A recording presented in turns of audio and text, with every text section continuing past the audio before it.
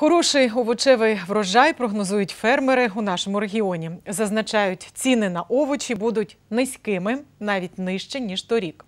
Капуста, буряк, цибуля на оптових ринках вже коштують близько 3 гривень. Морква ще тримає ціну, бо збирають поки що ранні сорти, вони дорожчі. Томат також не впав у ціні. Він зараз йде із тепличних господарств. Очікувати зниження можна буде за 10 днів, коли томати збиратимуть із відкритого ґрунту. Фермер Віталій Гуртовий розповідає, овочевий врожай у нашому регіоні не залежить від кількості опадів.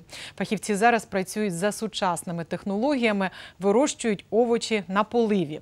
Але огірки і кавуни вирощувати складно через перепади температури.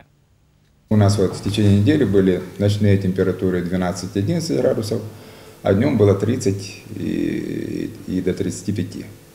Вот эти перепады температур растения, особенно тыквенные, переносят с большим трудом. Кто ну, смог обработать вовремя, у кого это удалось, вот те вот урожай собирали, огурца собрали. Почему вот огурец сейчас в цене такой?